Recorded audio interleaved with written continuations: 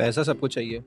चाहे वो एक मिडिल क्लास इंसान हो, एक अपर क्लास इंसान हो, या गरीब, जो आज भूखा सोया है। हर किसी को एक वेल सेटल्ड और स्टेबल लाइफ चाहिए। For that we need money don't worry मैं यहाँ कोई मनी मार्केटिंग ट्रिक सिखाने नहीं आया हूँ। बल्कि एक कंसेप्ट के बारे में बात करने आया हूँ, जिसे आप सच में बहुत पसंद करने वाले हो। एक इंसान की फाइनेंशियल अंडरस्टैंडिंग ही डिसाइड करती है कि वो पैसे को किस नज़रिए से देखता है और कैसे हैंडल करता है। एक मिडिल क्लास आदमी दिन भर जी जान लगा कर काम करता है ताकि वो अपने बेसिक नीड्स को पूरा कर सके। लेकिन उसके बाद भी उसकी बेसिक नीड्स बड़ी मुश्किल से मीट हो पाती है। और मिडिल क्लास आदमी अगर कुछ आउट ऑफ़ द बॉक्स जाकर करना भी चाहे तो पहले तो वो इजीली पॉसिबल होता नहीं है।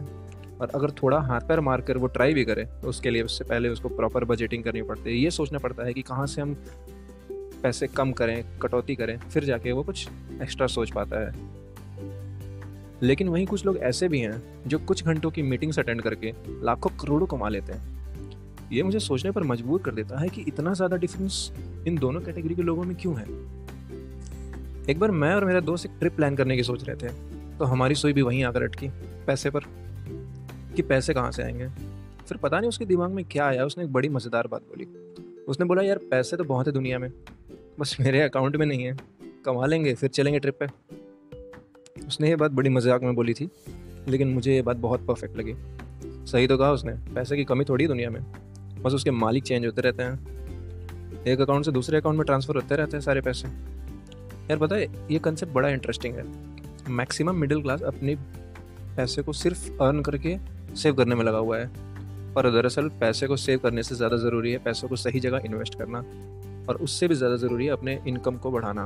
क्योंकि जब तक आप अपने बेसिक नीड्स को फुलफिल नहीं कर पाओगे, तब तक आप उसके आगे नहीं सोच पाओगे। एक फाइनेंशियली सक्सेसफुल लाइफ अचीव करने के लिए ज़रूरी होती है मनी हैंडलिंग स्किल अगर आपका काम ज़्यादा से ज़्यादा लोगों तक पहुँच रहा है, आपके काम की वजह से लोगों की लाइफ में एक पॉजिटिव इम्पैक्ट पड़ रहा है। समझ लो, आपकी इनकम एक्सपोनेंशियली ग्रो करने वाली है। लेट मी एक्सप्लेन आपके टाइम से जितनी ज़्यादा वैल्यू किसी जगह की बढ़ती है, उतने ज़्यादा बड़े मालिक बनोगे आप पैसों के हमें ज़्यादा पैसे इकट्ठे नहीं करने अपने अकाउंट में, क्योंकि पैसे तो आते जाते रहेंगे। वो बस एक सर्कुलेशन बना हुआ है ना, पैसे को आने का और जाने का, उसका एक बड़ा हिस्सा बनना है। और वो कैसे होगा? अपने आप की वैल्यू बढ़ाकर। जितनी वैल्यू बढ़ाओगे, उतने बड़े सर्कुलेशन का हिस्सा बनोगे। फ़ेमस ऑथर जिम रॉन ने कहा है you don't get paid for your time you get paid for the value you put in the time businessman एक घंटे की मीटिंग अटेंड करके करोड़ों की डील करते हैं। सेलिब्रिटीज़ एक शो के लिए करोड़ों रुपए लेते हैं और वहीं एक मजदूर पूरे दिन पसीना निकालने के बाद सिर्फ़ पाँच सौ रुपये कमाता है। पता है क्यों? क्योंकि मजदूर सिर्फ़ दो लोगों की लाइफ पर इफ़ेक्ट करता है, एक खुद के पूरे दिन मेहनत करके और दूसरा उस इंसान के जहाँ उसने काम किया है। एक कॉन्ट्रैक्टर के नीचे पचास लेबर काम करते हैं और वह सभी लेबर उस कॉन्ट्रैक्टर से कई ज़्यादा फ़िज़िकल मेहनत करते हैं, लेकिन फिर भी सबसे ज़्यादा अर्निंग होती है कॉन्ट्रैक्टर की। क्योंकि पचास लोगों को डील कर रहा है वो कॉन्ट्रैक्टर और पचास लोगों की लाइफ को अफेक्ट कर रहा है। जब एक सेलिब्रिटी आता है, वो हज़ारों, लाखों की तादाद में वहाँ पे लोग आते हैं। उसके काम करने का तरीका चाहे जो भी हो, पर उसके आने से बहुत सारे लोग इन्फ्लुएंस हो रहे हैं अफेक्ट हो रहे हैं। कई जगह सेल्स बढ़ रही है, कई जगह टिकट्स बिक रहे हैं और वहीं उसकी वैल्यू बढ़ रही है। तो ये एक सिंपल कॉन्सेप्ट है increase your value to increase your income और कैसे आप अपने काम को ज़्यादा से ज़्यादा लोगों के काम में ला रहे हो, इस पर डिपेंड करता है आपका इनकम ज़रूरी नहीं कि बिज़नेस मैन ही इस कंसेप्ट को यूज़ करें। एक ऑन्टरप्रेन्योर भी अपने काम से करोड़ों लोगों को इन्फ्लुएंस करता है। आप खुद फ़र्क देख पा रहे होगे। कैसे वो लोग जो सिर्फ़ लिमिटेड लोगों तक ही अपने काम को पहुँचा पा रहे हैं, उनकी इनकम भी लिमिटेड है और वहीं दूसरे लोग अपने काम से मैक्सिमम लोगों को इन्फ्लुएंस करते हैं और उनकी इनकम भी मैक्सिमम होती है।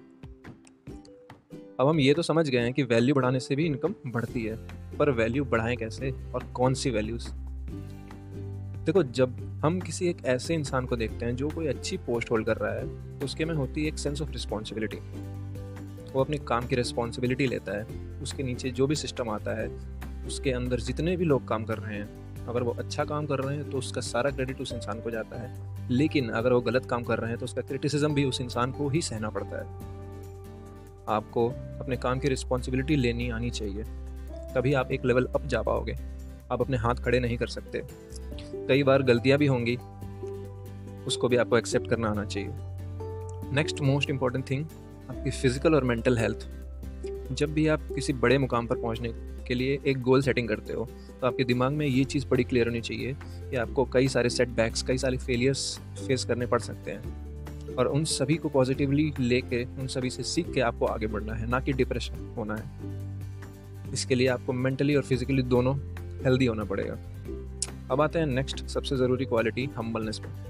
बहुत सारे लोग थोड़ा सा नॉलेज अचीव करने के बाद अपने आप काफ़ी स्मार्ट समझने लगते हैं और वो सीखने वाले जोन से बाहर आके सिखाने वाले जोन में आ जाते हैं। But this is wrong you don't have to think like you know everything in fact आपको एक लर्निंग नेचर हमेशा मेंटेन करना चाहिए अगर आपको ग्रो करना है। इससे आपके अगल बगल वालों से आपकी बॉन्डिंग भी अच्छी बनी रहती है और वो आपका सपोर्ट भी करते हैं और आपको हमेशा एक ग्रोथ पर्सपेक्टिव मिलता है। Last but not the least हम बात करेंगे ऑनेस्टी के बारे में। खुद से हमेशा ऑनेस्ट रहना चाहिए। अगर आपने कोई टारगेट सेट किया है या शेड्यूल किया है और किसी रीज़न से वो आपने पूरा नहीं किया, चाहे कोई भी रीज़न हो, आपको टाइम नहीं मिला हो आप बिज़ी हो गए हो या थोड़ा बहुत आलस आ गया हो, उसको एक्सेप्ट करो एटलीस्ट एक्नॉलेज करो मॉडिफाई करो अपने रास्ते को, अपने टारगेट को बट डोंट बी इग्नोरेंट ये मत बनाओ, बहाने खुद से मत बनाओ कि मुझे नहीं पता, ये हो सकता है किसी और की गलती एक्सेप्ट करो चीज़ों को, तब जाके आप ग्रो कर पाओगे।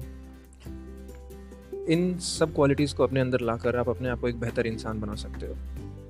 वो कहावत है ना, जो दिखता है, वो बिकता है। तो अपने आप को निखारो और चमको इस दुनिया में।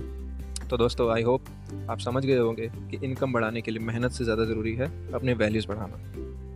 आई होप आपको मेरी बातें अच्छी लगी हों। Thank you for listening